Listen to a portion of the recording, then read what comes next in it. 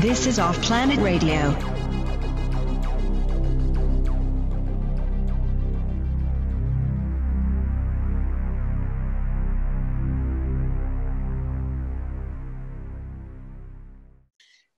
Hey, everybody, welcome back to Off Planet Radio, Off Planet TV. I'm Emily Moyer. Randy is off today, so I'm flying solo.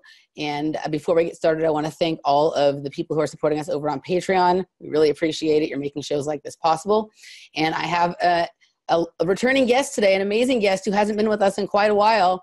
And uh, she is the uh, author of Chemtrails HAARP and, and the Full Spectrum Dominance of Planet Earth under an ionized sky. And uh, she has more work upcoming. And so, here to discuss you know the what's going on in the sky what's going on in our body and the metaphysics and psychology of it all elana freeland welcome back to off planet radio Thanks for having me, Emily. Good, always good to see you.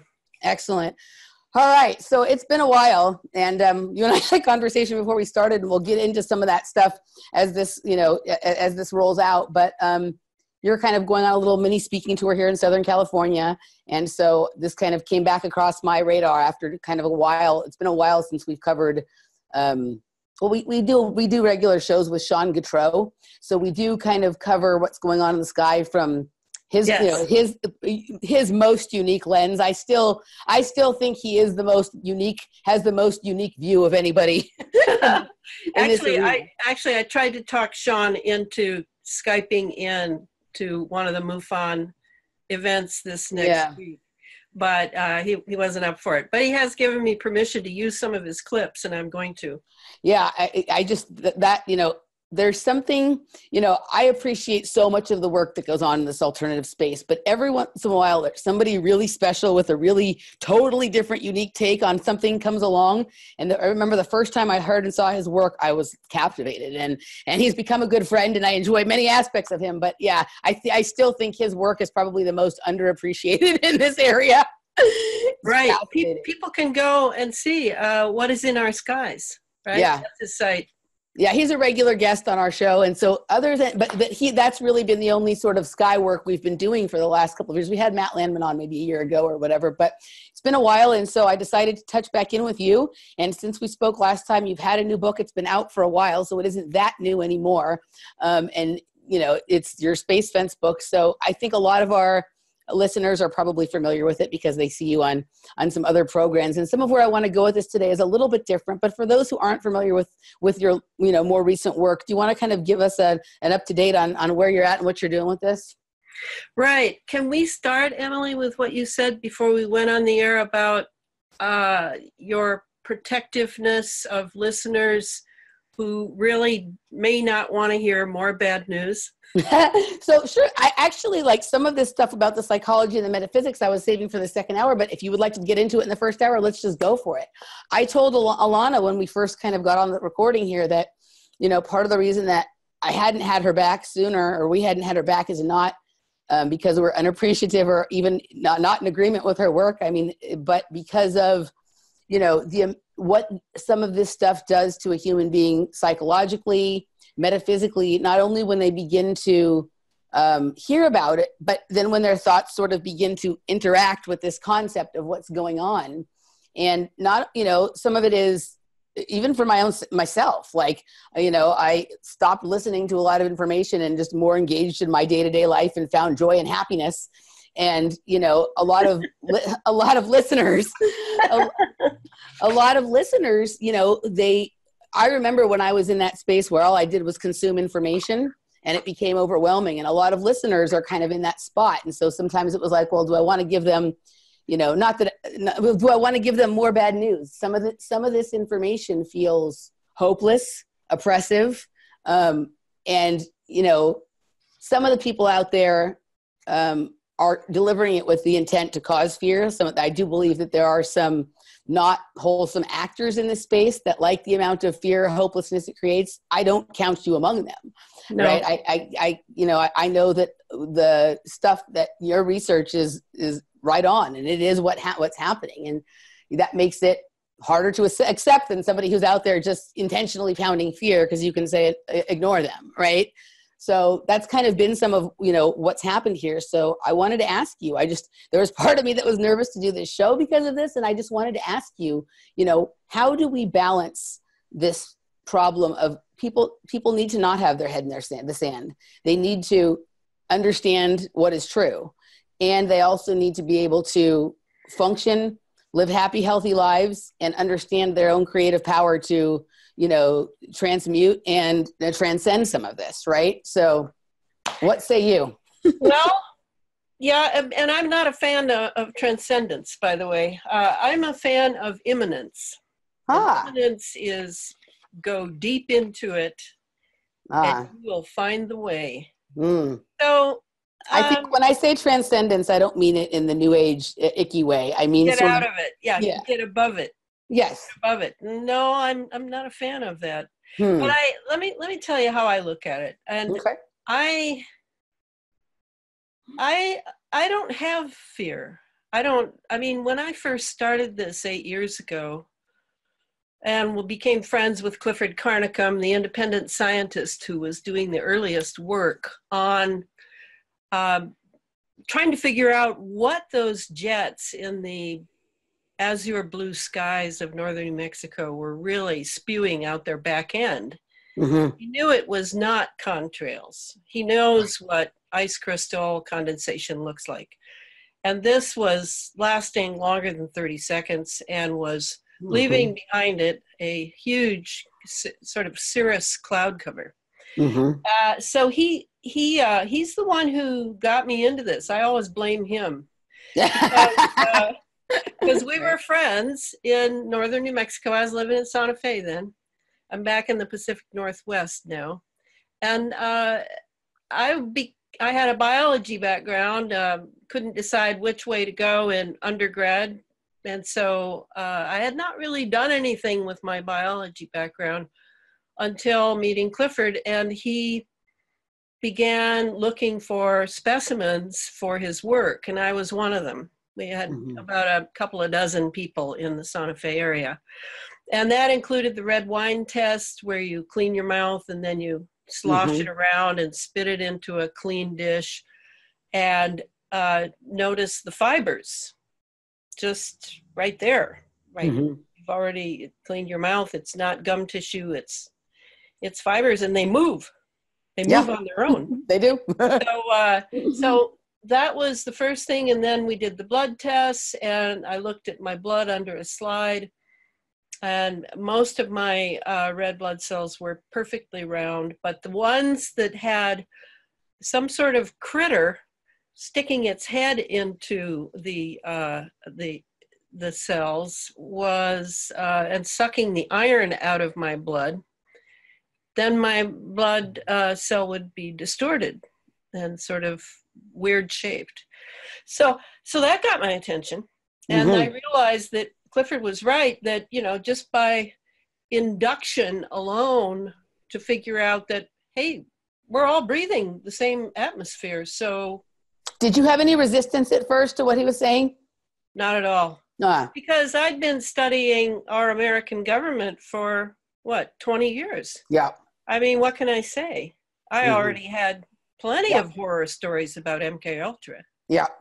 And uh, so no, no, I know where I live, yeah. and you know, even when I was living in Europe, I came back because you know I always say, and I'm not quite joking. I want to go down with the Titanic, right?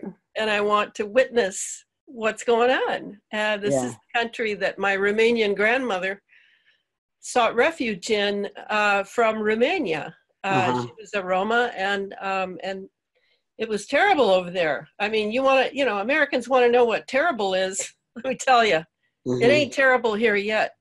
Okay, and so I don't have a lot of patience with people who want to feel good all the time. Mm-hmm. I really don't, because this is our nation, so called.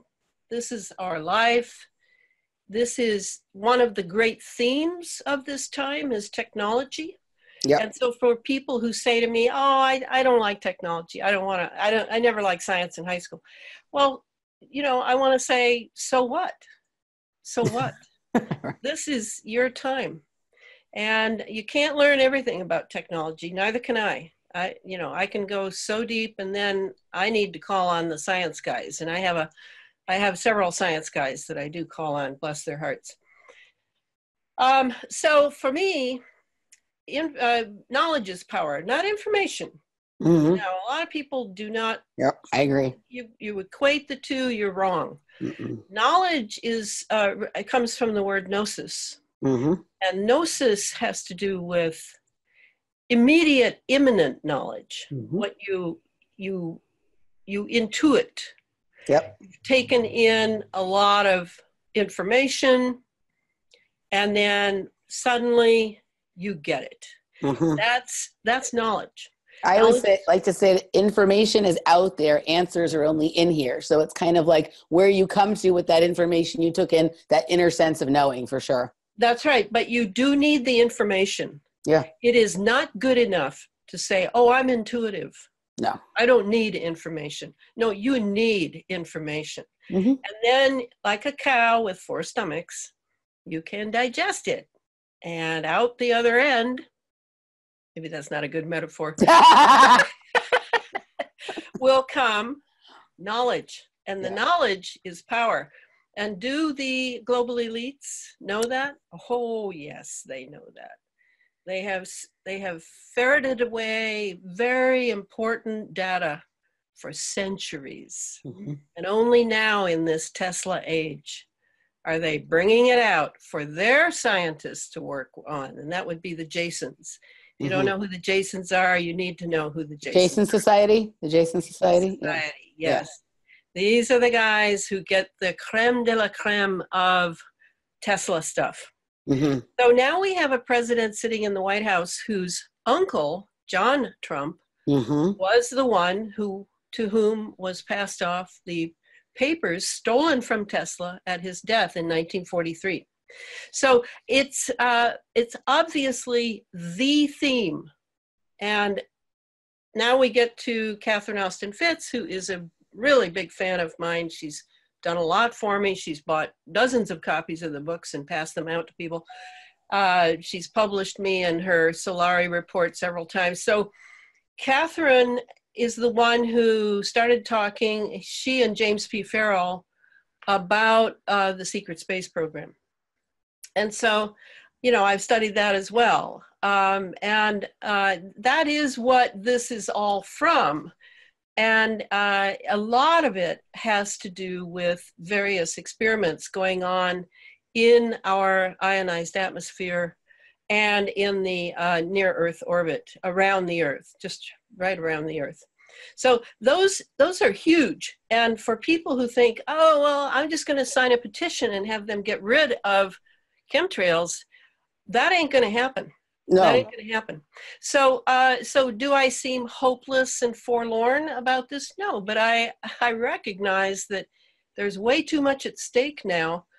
Are we just collateral damage for the military industrial intelligence complex who is totally committed to a space age? No, we're not just collateral damage. We're being experimented on also. And that is a fact. And we have to get used to that. So to me, um, yeah, it's kind of like the asbestos age that we went through and the nicotine age and whatever else, whatever chemicalized environment that we have sort of wiggled our way through. But this is much bigger. This is this is global Mhm. and this is coming down from the upper atmosphere and we are breathing it in so so that's the reality uh, but i think i'd like to start uh, so anyway i think that's all i can say emily is uh, you know if people um, don't see the power in knowledge and that i am spending years of my life bringing it to the people Mhm. and uh, translating heavy duty science and a lot of it's too heavy duty for me i can't translate. Yeah. i bring what i can to awaken people to their condition so Mhm. that they can take care of themselves because the doctors don't know you think medical school is preparing them for this Not at all. you're wrong Yeah. so uh, uh, you know, and we now know that the vaccination program is a delivery system. We now know that the GMO foods are a delivery system. And we also now know that the jets, the rockets, and the drones are a delivery system. All of these things are delivering things into our atmosphere that we then breathe. And part of them are about their particular operations, the military industrial intelligence complex operations. But a couple of those operations have to do directly with us and the Agenda 21, 2030, whatever you want to call it, Mhm. the lockdown on human society, because they are committed to a space age. And part of the commitment to the space age begins with absolute full spectrum dominance mm, uh, over planet Earth and all creatures on it and everything in it. I mean, you, you talk about hubris, you talk about psych, uh, you know, uh, sociopaths. Yes, but this is what they believe is that they can't uh, uh, dominate the solar system until they have absolute control over their own planet. Mhm. So that's where we're at. That's where I I assume we are at, and I'm certainly not the only one. So let me just read off to remind people who might have heard me before, because I'm sure I said it before, but I've developed this list much more. There are eh, basically seven operations going on in our ionized atmosphere. And when I say ionized, what I mean is it's loaded with electrons. And they've all been, they're basically the beginning of activating them had to do with HAARP, the famous acronym that couldn't have been better. Angels don't Right. like HAARP, right? There's no mistake to this stuff. right. So the HAARP was uh, about, oh, I'd say a decade of experiments going on with the ionosphere, which surrounds our planet and is inside our magnetosphere, uh, which is much bigger. So, what they wanted, it's called an ionosphere because it's loaded with ions. It's loaded with electricity, basically, electrical things, positive and negative both. So, they wanted to see how they could turn our atmosphere into a mini ionosphere by controlling the ionosphere itself. And um, Bernard Eastlund was the guy who wrote several patents about how to do this. He Mhm. definitely saw how to do it. He would use something called cyclotron resonance. And that has to do with the Schumann resonance of uh, 7.83 and how Mhm. we're all we're all sort of resonating with the Schumann resonance. But now we're going to have the ionosphere, uh, and uh, they want to be able to control that as well. All the frequencies, all the frequencies of life on Earth. And it was the beginning of a very, not just an electrical age, which really began in the 19th century, but an electromagnetic age. And so um, that's that's kind of how it started. And then it went to figuring out how to do these seven operations. And the first one, as we all know, is weather engineering. Mhm. Is all the weather being engineered? Yes, it is. To my knowledge, it is all engineered as soon as it arises uh, in the South Pacific. Now, there Mhm. are natu- natural things arising in the South Pacific. They're immediately taken up by the geoengineers, and uh, and the weather is uh, is moved in a general eastern uh, direction after going north and bypassing your state, California, so that a nice, healthy, unhealthy drought can be maintained now for eight years. Mhm. And that would include the few floods. You have Mhm. to include that because what they would have been experimenting on when they did the floods was to see what the saturation was Mhm. because the soil now is uh, stuffed with aluminum oxide, with uh, Mhm. nanoparticles of aluminum. And so uh, there's a lot of experimentation. In fact, I would say I am not particularly uh, believing that this is genocide, that this is eu- eugenics in the typical way. I would say that they're more interested in using us as guinea pigs Mhm. and hacking into the computer records of doctors, hospitals, clinics, dentists, whatever, so they can see what the uh, fallout actually is for this technology.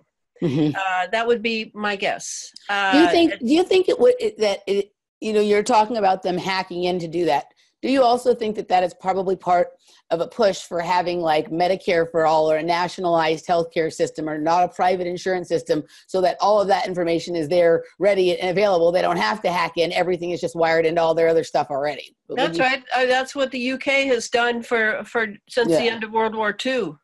yeah I mean, the you know the UK. I lived there for a few years. It is definitely socialism.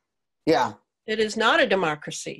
yeah well if, if you look into have- Yeah. If you look into if you look into the history of like Kaiser Permanente, that hospital, which is very big here in California, there's always been some devious, weird combination with government and funky experimenting and stuff like that going on. So uh, if it Yes. sounds like too good of a deal to be true, it, it always is. well, it, well, and like uh, for MK Ultra, it was Tavistock Institute Mhm. in England. Yes, They're the know all ones- about it. they're the ones who taught our CIA psychiatrists what to do Yes. And how to do it. Yeah. Mhm. So, all right. So the weather engineering is essential for, first of all, power. Right. Mhm. That's that's a no-brainer. You can tell Iran to behave itself, or tell it what you want, or you just take their rain away. You control the jet stream, and you move their rain somewhere else, and they die. So this is very powerful technology, but that's not the only reason that it's number one.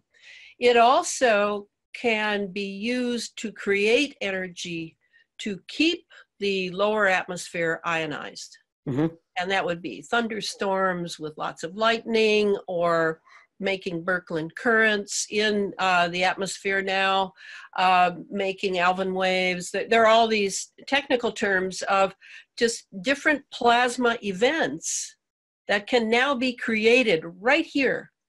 And plasma being the fourth state of matter, it's actually not the fourth state, I think. I think it's the first state of matter.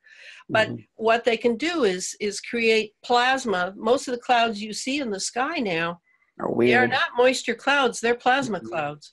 Well, they all have this like shiny iridescence on Yes. them, right? They're all like opalescent or with a shimmer or a glitter on them. Yeah.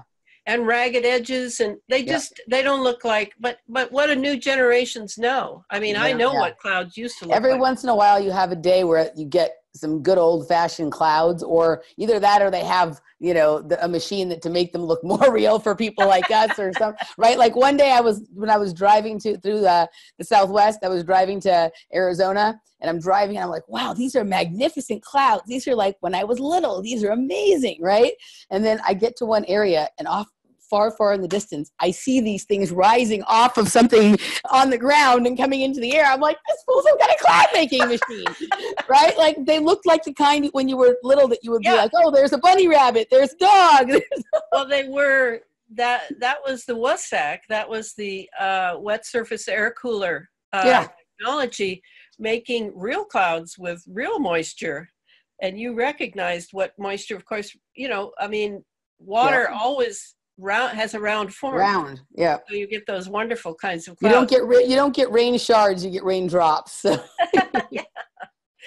so uh, so okay weather engineering that's number one then um, the next one that i have down is the chemical electromagnetic uh, atmospheric operations and that's that that's that's a lot of stuff that's plasma that's they're farming antimatter believe it or not up there they're making Birkeland currents they're making alfvén whistler waves they're making uh, uh, electromagnetic fields that they mess around with they So can when you say farming antimatter, do you mean like pulling that energy out of the ether, like what Tesla would talk about?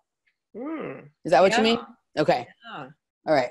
yeah, but uh, they can actually create more from it. Right. Well, isn't all that kind of? I mean, it, it's over unity, so you can create more than you use by doing it, right? Yes, so, okay. very yeah. good. That's right. Over unity, good one, Emily.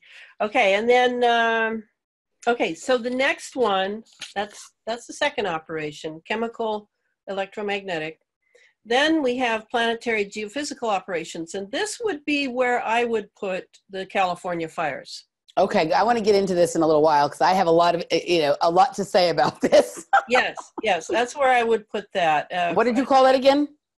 Uh, planetary geophysical operations, changing okay. shorelines, changing mm. uh, structures of counties, cities, um, for you know agendas that zoning and political purposes run by the UN mm-hmm. or by the uh, global elite who want, you know, they want those shorelines for themselves, or the Chinese mm-hmm. who own a lot of the California shoreline.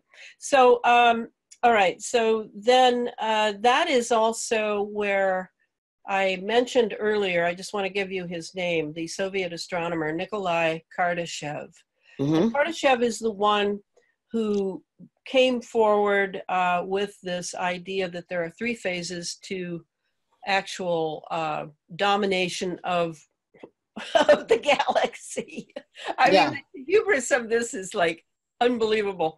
But the first stage is full spectrum dominance of planet Earth. The second is control over on one star, over our star, over our sun mm-hmm. systems. And that is already underway with the solar minimum and everything else to do with the sun. People people seem to not realize that they will control the sun. I was well. I, just since you said that, I want to just hop in for a second here. You know, there's a lot of. I mean, I, I don't feel like we are looking at the same sun that we had when I was little. Um, you know, when I was little, the sun was like a nice yellow, orange, warm, right kind of thing. And now, every once in a while, we get a day where it looks like that. But most of the time, it's this weird white shimmery thing, you know, like that is, you know, just weird. But also sometimes the sun is not rising in the place it's supposed to rise, not setting in the place it's supposed to, supposed to set. There are people that think that there is a sun simulator or a false sun. No, there are sun simulators. Yeah. Definitely. And there are approximately 300 of them, is what I read. I don't know if that's true. How does that work? Uh, but what you're looking at, Emily, is you're looking at the sun, which is not nuclear at all. It's it's a burning plasma orb, mm-hmm. and you're looking through a masses and masses of nanoparticles of aluminum oxide, mm-hmm. and that because aluminum is the number one thing they use uh, yes. for the delivery system and for the ionizing uh, keep the atmosphere ionized. So it, it's very white. It's very mm. white. So you're looking, and that's what you're looking through. What the real sun looks like anymore, we'd have to go up to a very tall mountain mm-hmm. and take a peek and see. Because I think you are intuitively right that they are cutting off our relationship with our beautiful, necessary star. Mm-hmm. I do think that's true. Just as at night, when they do the noctilucent uh, laying of chemtrails, which mm. is huge at night, yeah. yep. they are cutting off our relationship with the stars. Mm-hmm. So uh, there is a what I won't call it occult, but I will call it esoteric.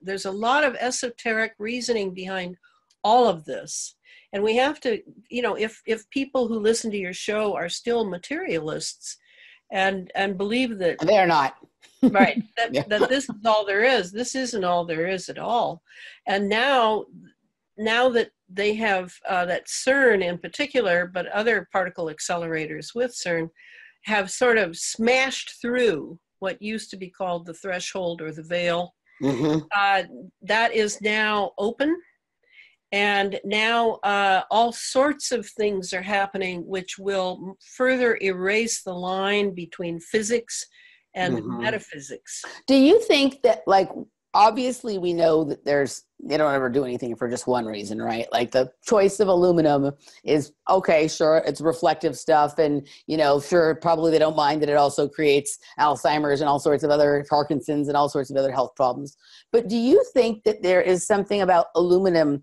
that is very good at attracting or being able to draw in certain kinds of entities or energies and almost like a magnet right or something for them to sort to sort of latch onto as they come in right if we're ripping open uh, holes in the fabric of space and time and letting things in from other dimensions is is the aluminum somehow like a way. You remember when you were little and you would do like, uh, maybe not when you were little, but when I was little, there was etch a sketch, right? And it was like a magnet that had all these particles, and you would kind of control that with the magnet to make the design. And I'm sometimes wondering if some of these entities or energies are particularly attracted to certain kinds of metallic particles as almost like Well, the thing about aluminum, uh, and it's only one of the metals, right? There are there are many that are yeah are being spewed. Uh, aluminum's the most right it is because it's cheapest, yeah and it has four times the surface area of just about any other metal. Mm-hmm. Uh, so it it does produce a certain acidity factor in uh, in the air as it's uh, as it's uh, becoming uh, ionized as it's there's an ionization going on. And that acidity just sheer acidity is very attractive to entities. Yeah. Well in just fact I, I would like say in your that body. Yeah. most health issues can be uh, greatly helped by paying attention to the pH factor yep of acidity and alkalinity.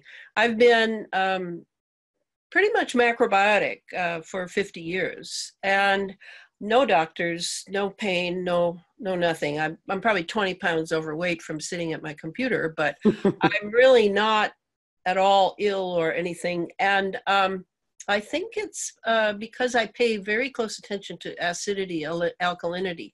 Mhm. So uh, this is something I would highly recommend to people. And if they don't know the difference for various foods or how they eat, and uh, you know, uh, or maybe they've fallen prey to massive disinformation campaigns, uh, you can always get a, a you know a, a pH paper and uh, just put your tongue or on it on it either or one yeah pee on it or Yeah. something in order to see how your body's doing. I can Mhm. pretty much tell just because, you know, I've been doing this so long, but if I cheat on a day, you know, and have a lovely glass of red wine with someone, uh, then the next day I'll make up for it. Yeah. I, because I know it's acidic. I know exactly what uh, it means. And so I will compensate. Uh, it's Yep. like a yin yang thing. I mean, I Mhm. think in terms of yin yang because I studied Chinese medicine. myself as well yeah yes, very, very helpful. yeah So, okay, so uh, let me just continue this list and then we can just go wherever we go. So, Right. I did the planetary geophysical operations and I mentioned uh, the Soviet astronomer Kardashev and his three steps. The third step, uh, after controlling our star, is to control the galaxy and its systems. I mean, you know, you almost want to laugh. In fact, I have laughed. Uh, but they are serious. They are serious about that. right Um, okay, so uh, then the fourth operation is directed energy weapons, hmm and that would include uh, that is a huge category because it isn't just the LRAD and the ADS and uh, uh, um, psychotronic uh, weapons. It- It's everything. I mean, I, I can make a case for the cell phone. You know, I oh don't know. totally well it's i mean it's everything from lrad to dr judy wood's work on you know where do the towers go to our cell phones to targeted harassment to you know Yeah. yeah, Electromagnetics in general are Mhm. a tremendously versatile weapon because Mhm. it's invisible and all you need is the uh, is the type of technology that will do the job. yeah So um, all right, so that's the fourth operation, uh, I believe. Five. No, maybe that's no, it is.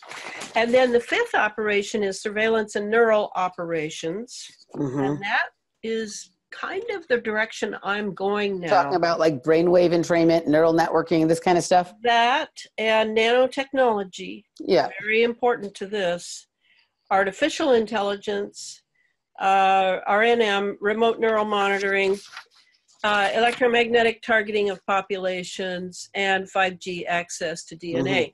So, um, all of that and more are in that neural surveillance. A lot of people wonder why they want to surveil and keep track of everybody's data.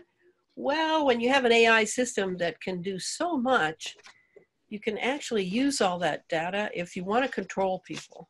yeah So all that data will be crunched and the algorithms are ready and waiting for all that data. So then the sixth operation is the biological transhumanism operation.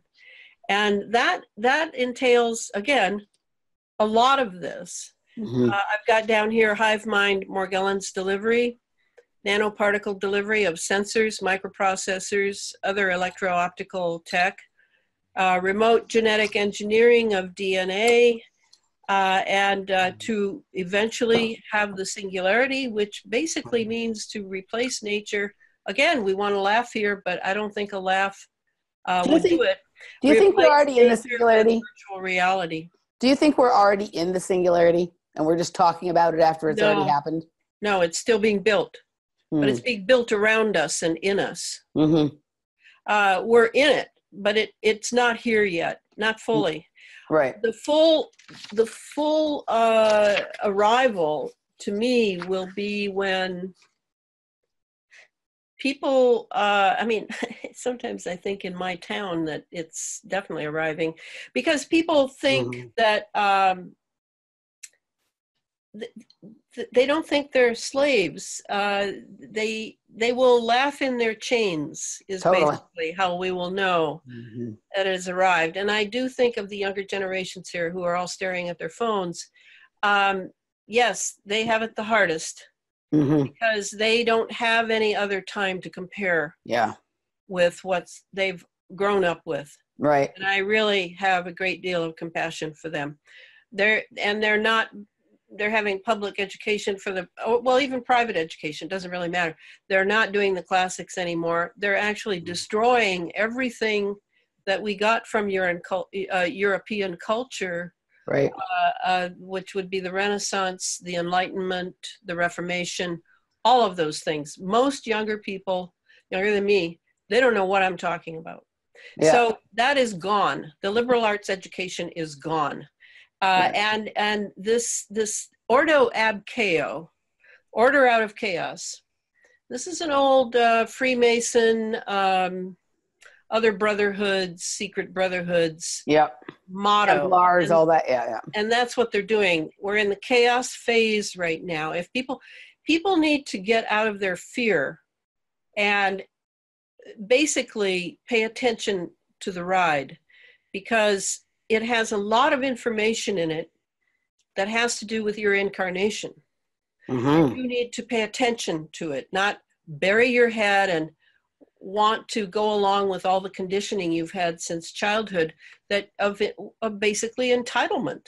Basically you know a lot of people who want to feel good all the time where did you get off being so entitled? I mean that's not what life is about uh, feeling Yeah. good all the Yeah, time. I you know I, I I agree with you, and you know we have a very high high information crowd as a group of people as our listeners, and I don't think any of them want to bury their head in the cloud the sand. Some of them, a- lot of them, myself included, are kind of in the space where like yes, we understand that this is happening, um, but if I'm going to be here and if I'm going to um, get done what I came here to do on this on this round, right? Or if I'm going to um, overcome this scenario, I have to find a way of looking at this that that makes you know maybe turns it into a challenge for me to overcome, or turns it into some sort of um, you know it makes me think of.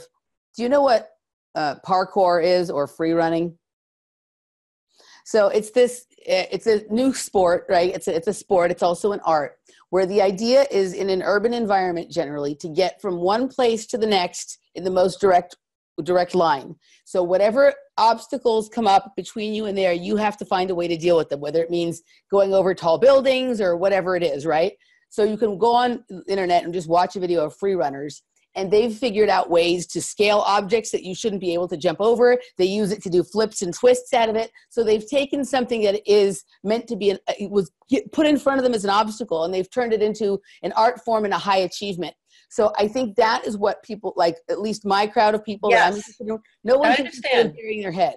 And what you're talking about is you need to contextualize what's going on. There's Mhm. way too much information. hmm yeah. And the priorities, how do you set the priorities for this? So that you can build a, a some sort of structure in your mentation about what is going on I like that a word. structure that you can live uh, with and in and that's what i do That Yeah. is exactly what my books do i am contextualizing a mass of information about the themes that are being played out right now right now and i find it despite the fact that you know i may die of morgellons or i may get hit by a bus or the cia may kill me whatever may happen it doesn't really matter because i'm i'm on my i'm on my target i'm on my run Mhm. and i i'm the one who knows a lot about not everything but a lot about how to contextualize all this data and see how this intricate web you know the world wide web the uh, the uh, skynet whatever you want to call it has been set up around us. Mhm. and now i'm i'm going to try to teach people how it's been set up in us because we have a skynet in us as well. And morgellons really was the forerunner to lay out this uh, netscape inside. And, and i literally mean net just like elon musk described Right. the neural net.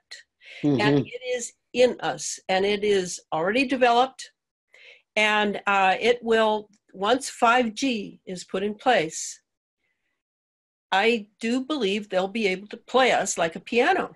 So what do we do to counter that? Well i think i know and it has to do with consciousness.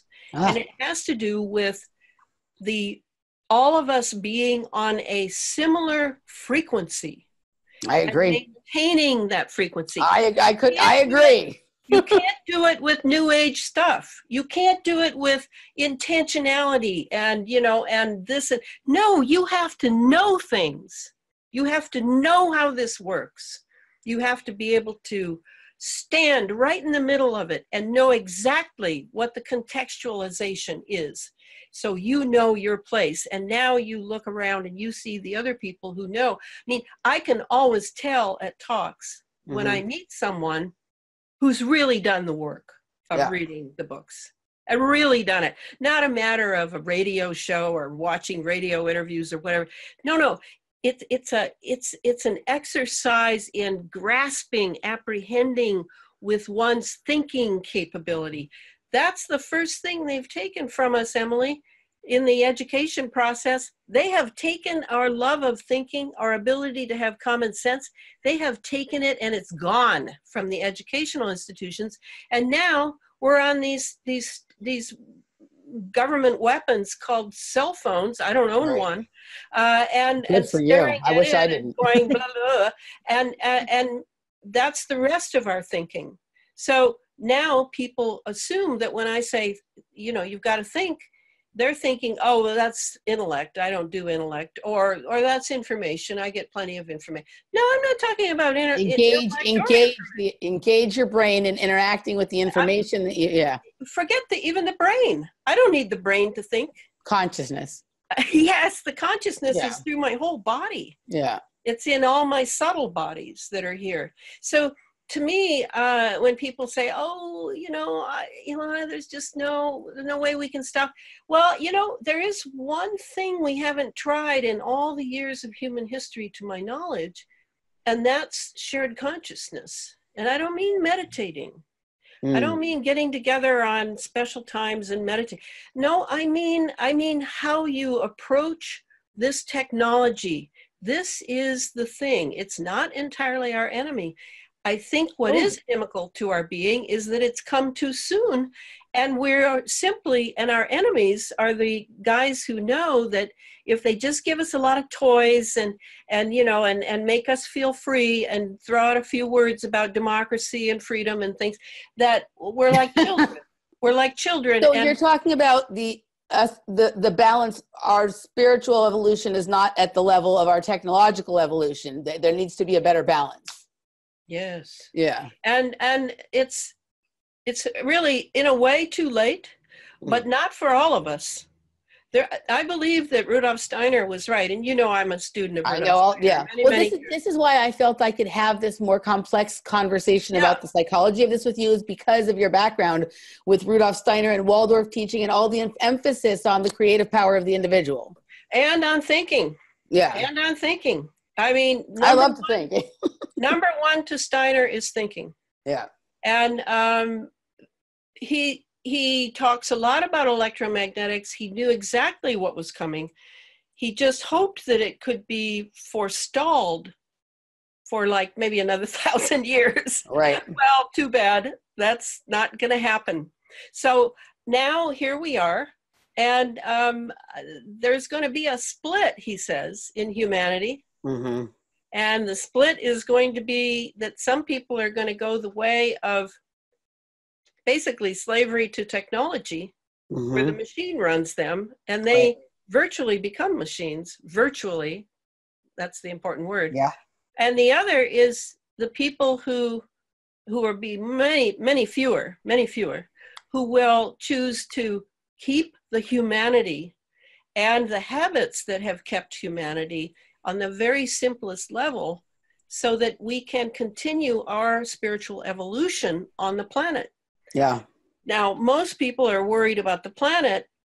Believe me, this is a living planet and it will not be allowed on in any way shape or form that this planet will be utterly destroyed. No, no. I'm very glad to hear you say that. Yeah. No, no, that's not going to happen. Do you know how how much that would take? No, no, no, that's not Yeah. going to happen.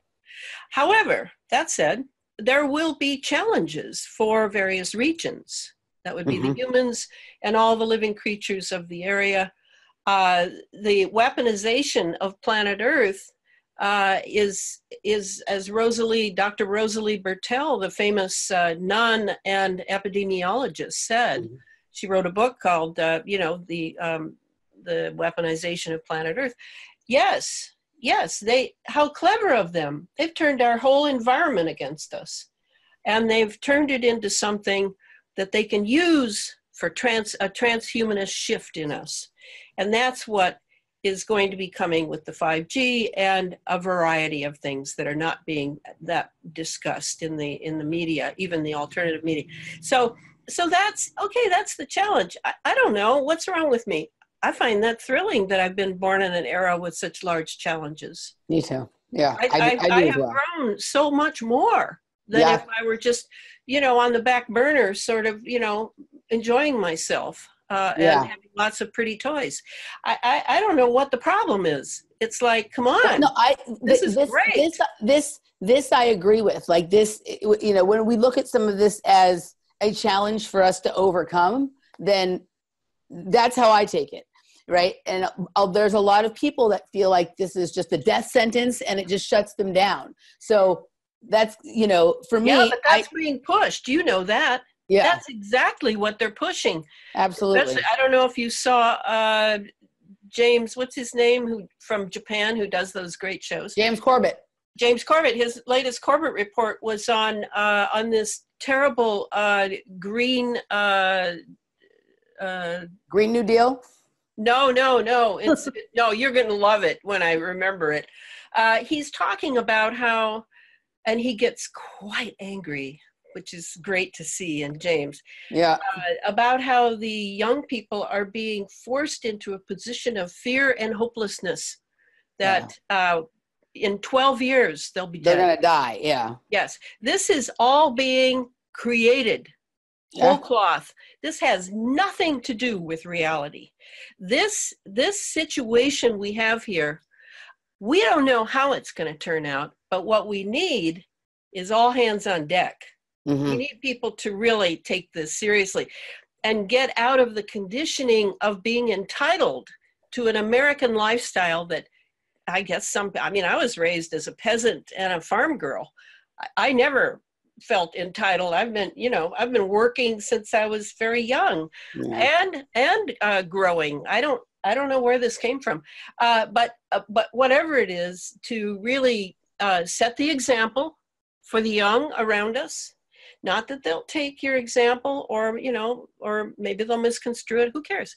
You take your responsibility Yeah. and then we move into a frequency that I don't, I, you know, I totally look forward to. Uh, I Mhm. want that frequency. I don't want to be the one out front and, oh, Elana's so smart. She knows how to. No, that's not what this is about. This Mhm. is about dedication and commitment Yeah. and and doing the hardcore study until I break through and understand something. That's Mhm. that's what I'm good at. Yes. Yeah. And I am smart, but the best thing about me is I have an attention span and a disciplined lifestyle you wouldn't believe. I am a soldier working for the future of humanity. That's who I am. Yeah. yeah, no, I mean, I get it. And a lot of us feel, a lot of us have things that we're good at that are different than what you're good at, but we feel like we are also here at this time for the very same purpose to help liberate, you know, the few humans that still want to be liberated. Yes, from- but without understanding technology, Emily, it's not going to work. Oh, I agree. We've I, got to understand what's I am no. I am no uh, luddite. You know what I mean? Like I, I have one of these brains that, you know, it's so. um Whenever I hear, like, you know, when whenever some I thing is laid down about this new technology that is going to do this, that, or the other thing, my brain carries it way, way, way, way farther out to the point where, like, I can't even explain to people in words that would make sense to them what I see as a possibility from it.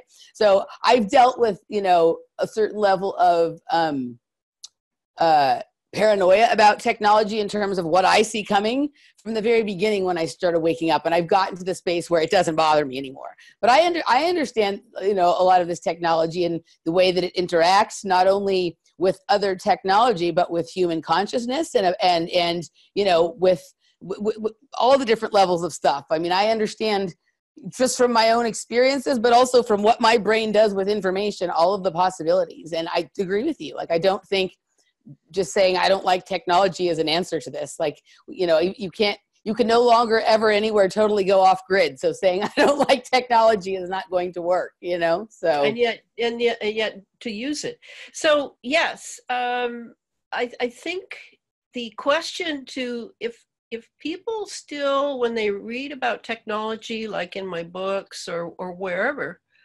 uh if their first question is does this make me feel good or does this make me feel bad that that's not the question I agree. should be, Yeah. should be asked No, that I one agree. is th- this is an adult world here it yeah. is not about being a child anymore. I mean, we have a whole culture, Emily, taught to be children forever. I agree. Yeah. And we need to really look at our adult obligations and responsibilities. And I don't mean about your bank statement. I mean about, you know, your spiritual bank statement maybe. But Yeah. uh but the Well, that's, that's the purpose of the bank statement is to, to distract us from the more important issues for sure. well, it's it's that side of us that um that has not been tapped fully.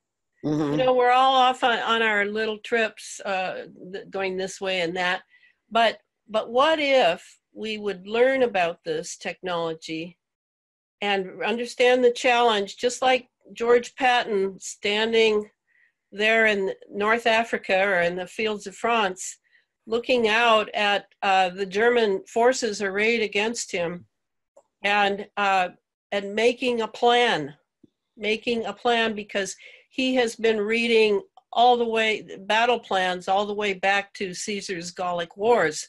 He knows battle. He has studied battle. Right. And that's what I need. I need people who really can study, not just feel and wing it and sail by the seat of their pants. I really, I, I'm really looking for people who are serious about reckoning with this technology snafu that we have now fallen into. Yeah. And it will go on, Emily. And when I come back as someone else, I'm still going to be on this. And I'm looking for recruits. And am I am I joking? No, I'm not joking. No, I I'm don't think you're those- joking. Yeah. No, I'm I don't think you're joking. Very old souls yeah. I know exactly what I'm talking about. So so let's let's get let's get on it here. And my books, I, I mean, I'm still amazed that I, I'm the only one who's written about the space fence. I, I just find it flabbergasting.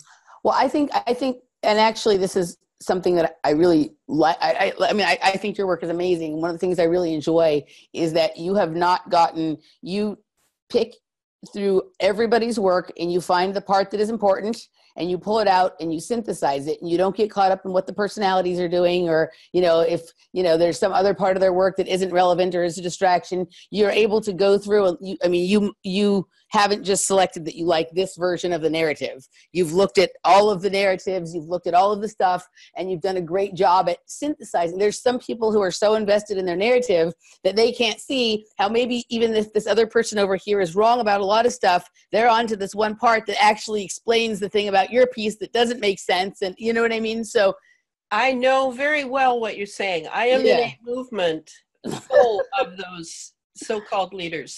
Yeah I, I bless them. They're my brothers. We're all in this together. But I do get tired of it.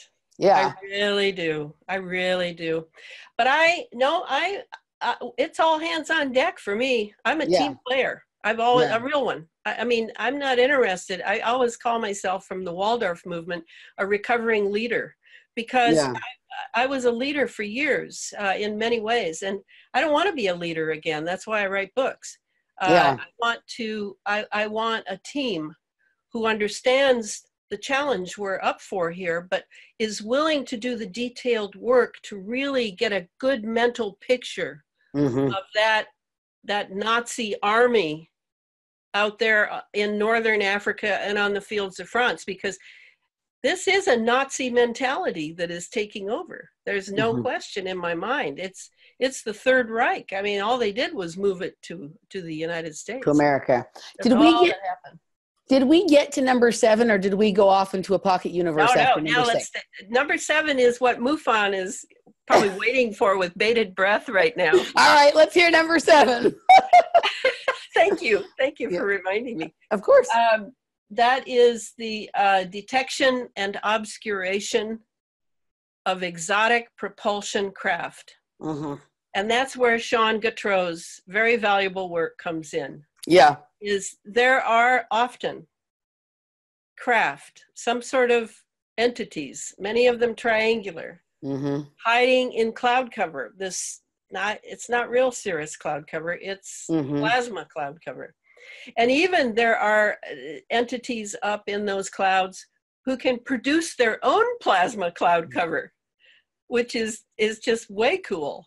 Yeah. Whether they are ours or the entities that James Trevor Constable took many photographs of out on the desert uh, in uh, California, I don't know. I mean, Mhm. there are organic entities that have lived in this atmosphere yes. and swim in the sky.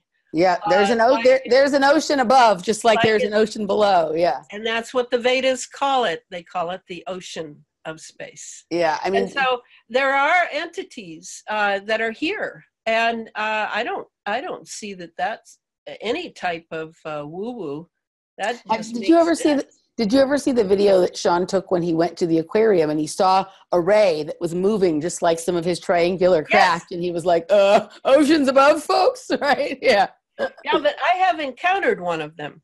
I Yeah. i literally have encountered one and that was many years ago and that uh, that particular entity was um, shaped like a very very very large skate fish Yep. Yeah, I know I know the kind you're talking about. Yeah, yeah. yeah and i could tell that it's it was not metal it, it does not it was not a metal ship but it Mm-mm. had portholes Mm-hmm.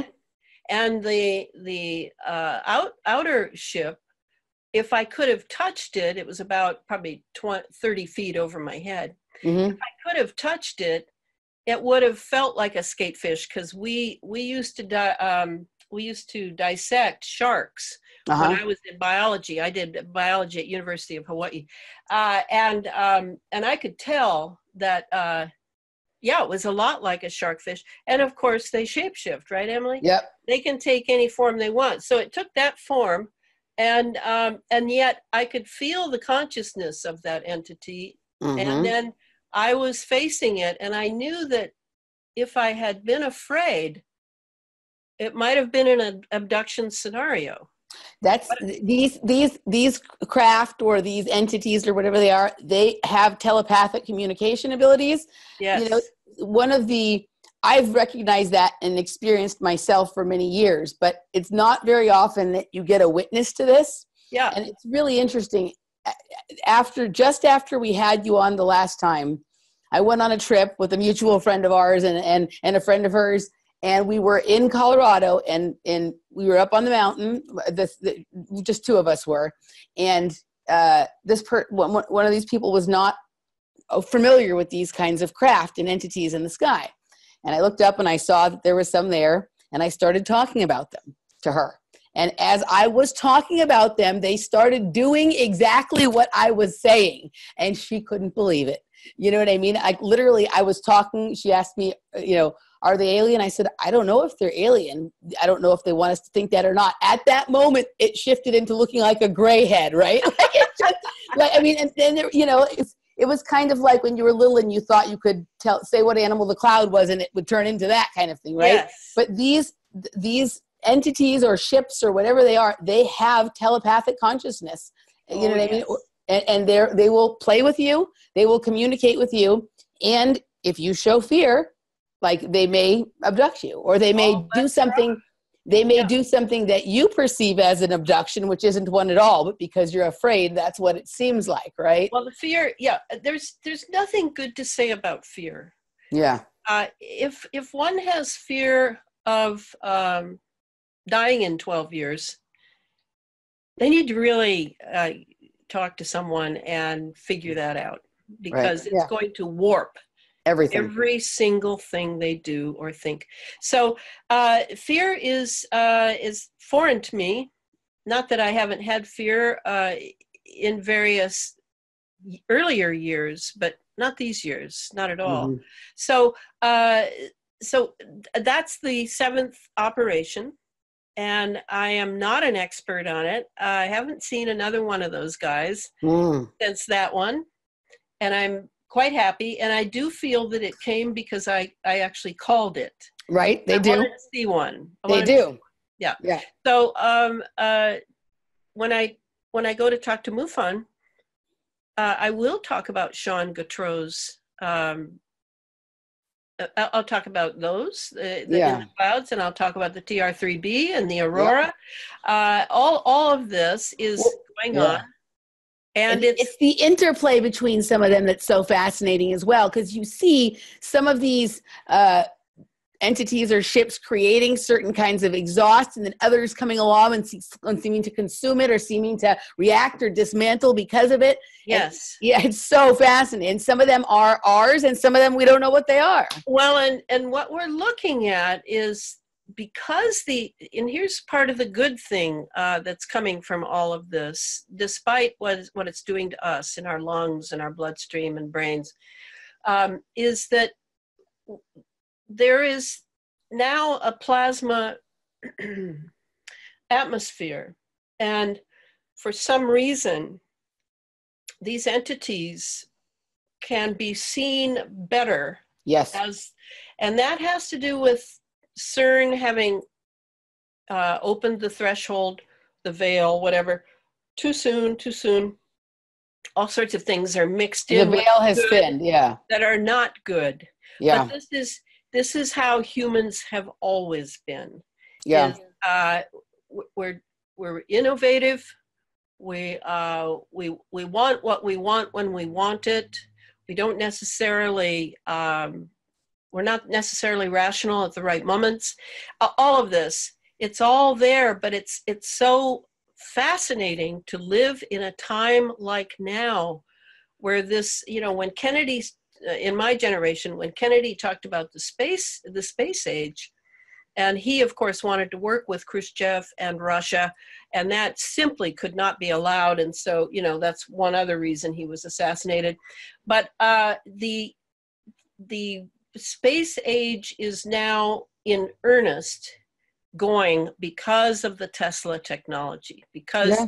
because of the HAARP technology that Bernard Eastlund's patents, that he was able to see how they could uh, they could change and transform the relationship with the ionosphere Mm-hmm. so that they could impregnate this entire atmosphere with plasma or with the ingredients of plasma. They've got all of their radar installations, their NEXRADs, the lasers, everything on the ground that is part of the space fence.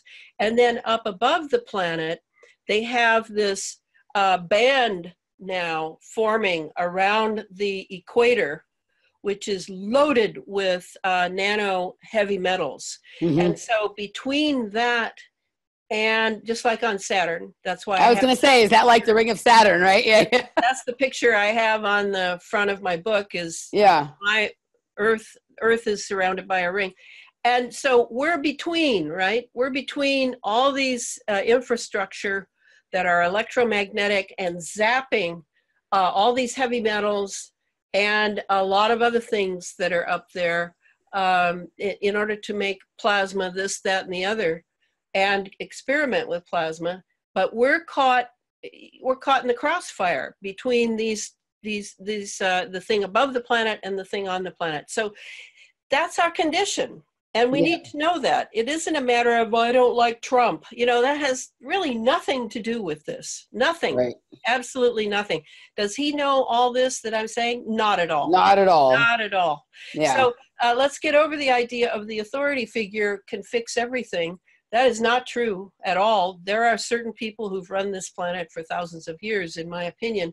So um, this technology uh, is very dangerous, but it is it is the direction we're we're now heading because we have allowed this to grow up among us. We didn't pay attention when Mhm. you know, I tried to wake people up decades ago.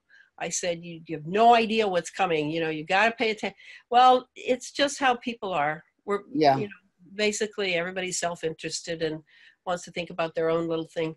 So, um, so now here we are, and uh, it's very exciting. Um, I mean, I, am I missing something here? Uh, nobody's at the door to kill me right now Nope. um, I, uh, I, you know, I, I feel like I'm discovering things that very few people realize it yet, and trying to write them in books so that in 50 years someone can read those books and uh, and realize that somebody was awake here about what was going on, and um, and I, I think it's I think it's great. I don't know. Am I missing something, Emily? I don't think so. I think for me, I'm the kind of person that would always rather know than not know. So, you know, for, for me, you know, knowledge, however disturbing some of it might be, is just an opportunity for me to level up. I mean, some of the things that are happening with just like what you were talking about, there are people discovering their own inner power, their own metaphysical gifts, their own with with along with some of this is because it's what they're having to do to overcome some of this. So no, I think we actually live probably one of the most amazing times to be alive, and you know, and I also think that you know that that, that these challenges are. Uh, actually going to make us you know help us to recognize our own power and our own divinity and, and whatnot and so Okay. Yeah. So the So only other thing that I think I don't want to forget to say is, uh, even though I've, in a way, because you're so, you're so easy to be with uh, on the Oh. radio. um, I've come in at all of the things that I talk about from the basically the back door and the windows, and maybe the cracks in the floor. So I don't know how clear an idea it is for the beginners out there, uh, and I'm not going to worry about it. But I would say this: if if somebody asked me, Elana, what can I do to um, to take care of myself? Mm. during this time that I'm breathing in, basically, uh, I'm breathing in heavy metals on a nano scale. And a nano, just for people who don't know, is one billionth of a meter. So, nanotechnology is chapter three in my Under an Ionized Sky. And everybody needs to know about nanos because they're in all of our foods, they're in all of our clothing, they're in all the pharmaceuticals, they're in everything, and they are not just small, they they behave differently Mhm. than anything natural. In fact, they are they have a swarm mentality. Yes. So they are basically alien, I would say, absolutely, and they are everywhere. And uh, you know, I just cleaned off one of my tables here. I could not believe the amount of uh, of dust. And then I got my little 60 power microscope out and was looking at some of the fibers, and dang, there they are. Yep. There they are. They're coming It's- down. it's all everywhere. around us. People need to be in constantly chelating heavy metals out of their body and detoxing and you know really working Yes. with what they're eating and what they I mean we uh, one of the one of the things that we all need to figure out during this period of time is how to become our own internal alchemist right Yes. Yes. right so Yes. you know That's it. You've got it. Yeah You've got it. And the guy, of course, that I find doing the most amazing stuff on nanoparticles is Tony Perfect. Oh tony yeah Tony is the man. Not that I necessarily agree with his sense of humor. Mhm. He sends me the most amazing jokes, I guess they are, but they're you're not sure they're not funny to me. They're like Yeah. they're like stupid, you know. But Yeah. I love Tony, and he uh, he and I uh, email quite a bit. So yes, Tony Pantalleresco. I take the baths uh, at least once a week. That's uh, a cup of Epsom salt, a cup of sea salt, and a cup of borax. Mm.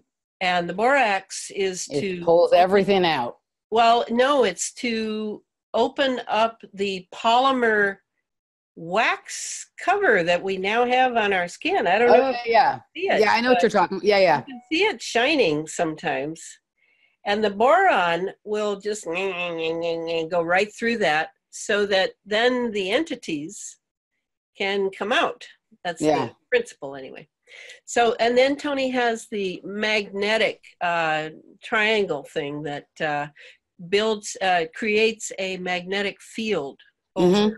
the body uh, in a certain area, and then they pour out. I mean, I Mhm. think that the way we need to go is definitely magnetics yeah for these metals, right? Metals, yeah. magnetics, Just makes pull them out yeah Yeah. So, um, yeah, and then I mentioned the acid alkaline, making sure that your diet, you know, if you like to eat a quart of ice cream a week, you might reconsider that hmm because that will not serve your immune system. right And now it's the immune system that we need to help because I don't know if you've ever really thought about the immune system, but I would say that, that, I'm a nutritional consultant, so yes, I think about that. but I think it's taken millions of years to Yeah. create in Yeah. the body. And it is exactly what these powers, and I would include the global dynastic elite families in this, especially big pharma, what they want to tear down in us and have been working so hard for half a century now of feeding us crap uh, is that immune system. They want it down because they're going to to induct us into transhumanism remotely from the environment, from the from the weaponized environment, with the help of 5G as it is being um, put up. So that would be phased array antennas. Those are the main the main way the 5G is going to work on us is really the pha- phased array antennas and the millimeter wave. So so the that yes, the more we uh, take care of ourselves. I mean, I shut everything down at night when I sleep. I sleep with my head to the north. Um, everything I do has consciousness in it. I do not necessarily go by any of my old habits. If Yep. my old habits do not serve my health so that I can last uh, a, a while longer, then uh, I dump them unceremoniously. I'm not. I'm not attached. Yeah. Not attached. The only thing, yes, I am attached to my morning coffee. I take that. back. Ah, mine too. Mine too. I take mine with a lot of fat in it, though. You know, so oh no, I have it just black. But but it, all I need is to kickstart that br- big brain of mine, and, Yeah. and then I'm good to go the rest of the day with a. have you ever have you have you ever tried the fat coffee? No. pouring ghee on the blue flame of knowledge in the morning, right? So I take my coffee with about 50 grams of fat in it, right? Because the brain is all fat and I can, I'll tell you it's great. I mean, I, I work out a lot. It's great for that, but it's also really great for like the clarity of mind, the thinking, and just the general way your body feels. It, you know, it, it's a completely ah. different experience. I'll tell you about it sometime. All right, guys, we're to the end of the. We went a little over the first hour here, so we're going to take a quick break, and we'll be right back for the patrons hour. If you want to catch the next half of the show, where we're going to talk about the weirdness of the weather and all the other stuff here in Southern California, join us at patreon.com forward slash off planet media. We'll see you on the other side. This is Off Planet Radio.